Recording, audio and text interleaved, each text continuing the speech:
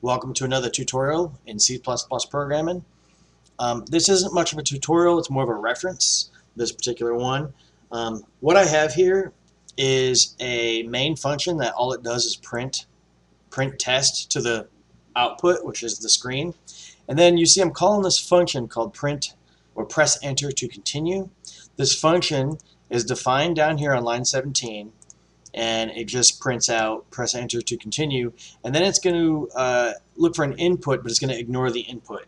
Don't worry about the parameters and what all this means yet. It's beyond the scope of what you've learned so far and we're not quite ready for anything like that. But what I wanted to show you was um, where I got this from and why I'm using it a lot of people talk about using system pause, which I definitely don't recommend. Now, I don't recommend it mostly because the experts don't recommend it. It's resource heavy, it's uh, not very safe code, it's Windows specific, and so on. There's plenty of uh, other reasons. Um, let's not forget that for every function that we have, because we talked about it before, you have to have a function header where you declare the function. So it's a void, so it returns no value, and it takes in no parameters. Okay, where I got this from is important for you to know. Put it in your reference box, your toolbox. Um, this website here called cplusplus.com, it it has a lot of good good information and it's a very active forum. A lot of questions get answered by experts and the answers are usually very thorough.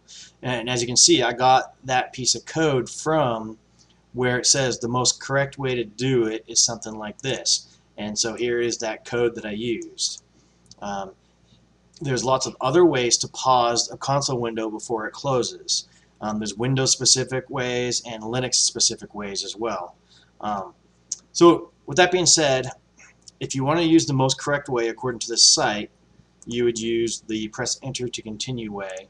And anytime you wanted to pause a console window, you can pretty much put this press enter to continue at the very bottom of your main function before it closes. Let me run it and prove that it works. I hit F12 to build using this particular IDE.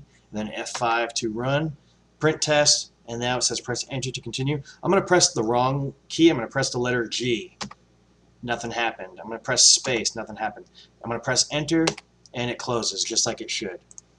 I hope this clears up some things about the system pause. Um, you can definitely look up on this website why system calls are evil, and it'll give you a list of reasons. So I, I advise you to check that out sometime if you don't believe me on the uh, the whole resource intense thing.